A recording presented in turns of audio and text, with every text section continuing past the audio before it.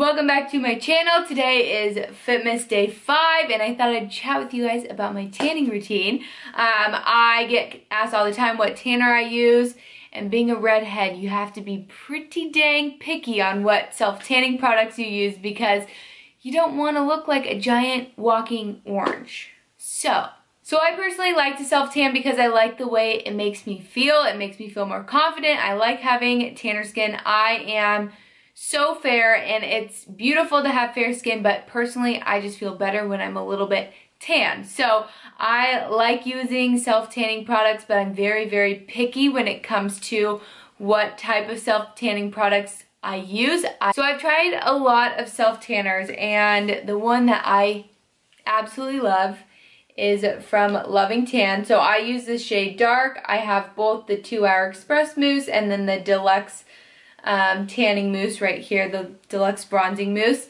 They are the exact same color. The only difference is the 2 Hour Express is fully developed in two hours and then the deluxe tanning mousse develops over six hours. What I normally do is I just normally wear it to bed, wake up the next day, shower, and I'm good to go. I use the shade dark. There is medium, dark, and ultra dark. One thing that I love about this tan is the color is actually tan. It's not green, which I've had experience with different tanning products before where it actually turned me green. It was the weirdest thing. It's not orange. There's no hints of orange. Like this is a true tan color. It's like gives you that olive color that you really are looking for and it does not smell bad which is a plus too. So there are a few steps to my tanning routine which I think is so important. The steps are very, very, very important. So step one is you want to exfoliate and shave in the shower before you put on any sort of tan. You want to Get the previous tan off if you have some sort of tan on your skin. If you don't, if this is your first time tanning, just you want to exfoliate your skin to get the dry skin off of your like skin in the first layer. So what I use is the Loving Tan Exfoliator Mitt. It is pink on one side, black on the other. The black side is a little bit more rough, so if you have like a newer tan, you can really take that and scrub it. So it's really important to exfoliate your skin and really prep your skin before you start tanning. So I will exfoliate and shave in the shower. I will put on regular lotion on the driest areas of my skin. So my elbows, my hands, my ankles, and my feet are normally like my go-to. Sometimes my knees too but you do not want to put on lotion like all over because then the tan won't go on as smooth and then I will go ahead and start applying the tan. So what is really important is to have some sort of applicator mitt. This is the Loving Tan application mitt.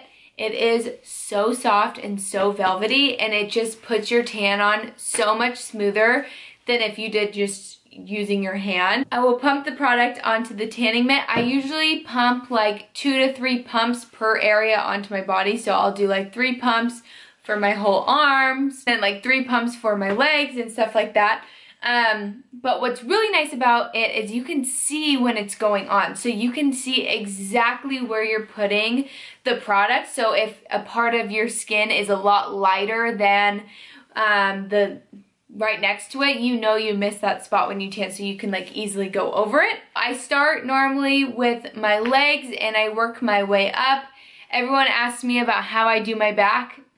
It's a ninja move, honestly. I literally like push my arm to the back to get my upper back. Or I'll have my fiance do it, but I don't really trust him a lot of the time. Hey.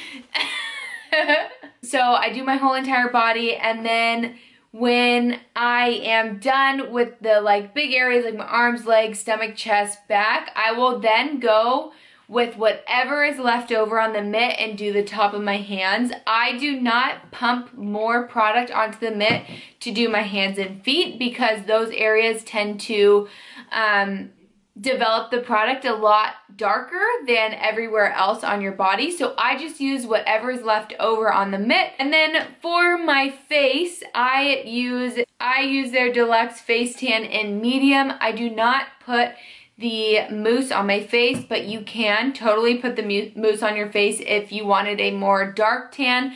But they also have the deluxe face tan in medium dark and ultra dark. I have dark as well, um, but I like having my face a little bit lighter than the rest of my body just because I can do my makeup a little bit darker to match my body. So this was made for your face, so it doesn't tend to break your face out or anything.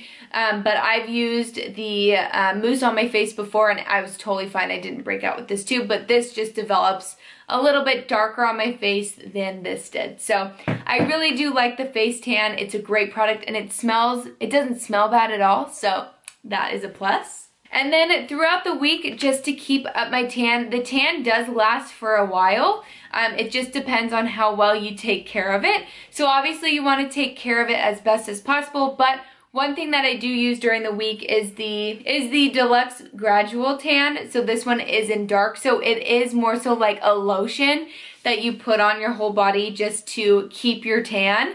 Um, it is tinted so you can see when it comes out, it comes out a little bit more brown um, so you can see when it's going on. But this is great too if you have like some splotchy spots. I know for me my the inside of my elbows tend to um, splotch a little bit more than the rest of my body. So I'll just put some on the inside and it'll kind of fix that area of my tan which is great. But it is really important to take care of your tan. Don't scrub it off every single time you shower unless you're ready to scrub it off to tan again. Um, you want to make sure you are moisturizing because you need to moisturize in order to not get dry skin, which will tend to flake off your tan. So, so yeah, nothing's really changed. I still use Loving Tan. I'm obsessed with it. If you've never tried it before, you should absolutely try it because it's such a good tan. So if you guys were to order a mousse, you can get a free application mitt at checkout if you just put my name, Katie Yovin, in the discount which is really nice too because honestly having a applicator mitt is amazing and honestly essential. So it is day five of Fitmas and I actually teamed up with Loving Tan for today's giveaway which is so exciting. All you have to do is go find my latest post with Loving Tan. I'll pop it up right here. Tag three of your best friends and follow my Instagram and Loving Tan's Instagram and they will be sending you and all three of your best friends a $250 value pack of tan. So like I said, all you have to do is follow me and Loving Tan on Instagram. Go find this photo and tag three of your best friends to win a $250 value pack of tanner. Like, that is a good giveaway. Go enter. I hope you guys like this video. That's it. How easy is that? So today is workout day five of Fitmas. Um, it is another full body HIIT. It is not an EMOM today, it is just a circuit. So essentially you are moving from one exercise to the next, limiting rest in between. After you finish the fifth exercise, you are resting for like one to two minutes and then you're gonna redo that circuit five times through. So um, you wanna try to limit your rest in between each exercise so then you can keep your heart rate up and then at the end of the fifth exercise you can rest for like one to two minutes just to catch your breath and just keep on going. This workout should take you about 30 minutes. Feel free to do extra cardio after if you want, but this workout, as long as you keep your heart rate up and you're challenging yourself, you are good to just do this workout. My hair is a mess. I just like I just ran upstairs. I took this one to go potty. Um, but yeah, so without further ado, let's just get into the workout and then we can chat about today's giveaway. Okay, so exercise number one in our circuit is just regular bicep curls. So this is where you can really challenge yourself with the weight you're using. Um, bicep curls in the next exercise as well. Don't be afraid to lift heavier weights. Um, if you think like five pounds, 10 pounds is so easy for you and you're not feeling the burn, move up five more pounds and see how you feel there. Just make so the second exercise is shoulder presses. So same thing here. Challenge yourself with the weight used. You are only doing 10 reps. So don't pick up the fives. If those are so easy for you, definitely choose a moderate weight that makes the last three to four reps pretty challenging for you. Um, and then you're going into 12 squat walk ups. So you are just getting onto your knees and then walking up into a low squat. Feel free to stand all the way up if you want to make it more challenging, or you can even add a jump. Um, but right here, you are keeping constant tension in all of your leg and glute muscles. So that is exactly what you want to do. There is Indy. She's such a star. um, so with squat walk-ups, you are doing 12 total. I like to alternate legs, six on one, six on the other. And then going into 15 banded hip thrusts. So with banded hip thrusts, you want to make sure you are keeping tension on that band the entire time by pushing your knees outward. You are pushing up through your heels and squeezing at the top, keeping that head forward, chin tucked, and really only moving from your sternum down. Really squeezing your glutes at the top of every single rep.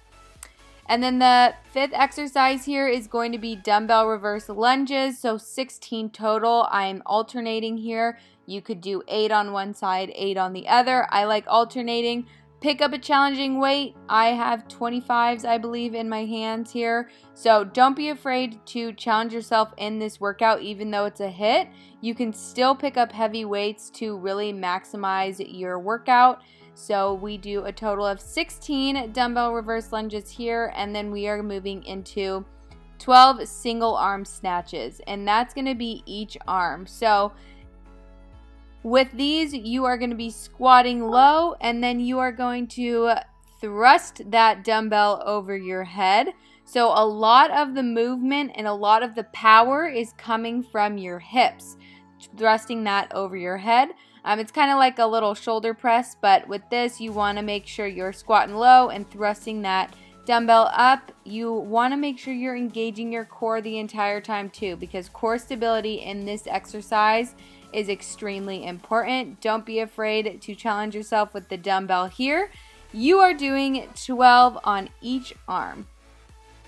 And once you finish, you can just dance it out like this, waiting until you start it all over again. So thank you guys so much for watching. I hope you guys liked this video. I will see you guys next time.